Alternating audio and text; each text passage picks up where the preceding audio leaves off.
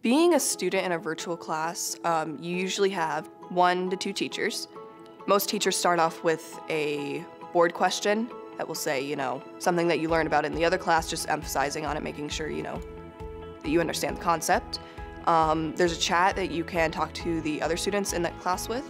Everybody's there to learn and everyone's really nice. PA Cyber, I'm able to stay where I'm comfortable and work from an area that I'm calm.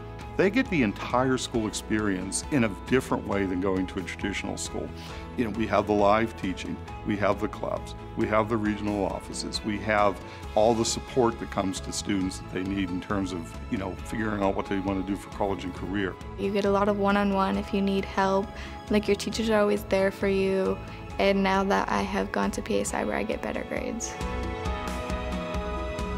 Having the flexible schedule with PA Cyber, it allows me to do much more.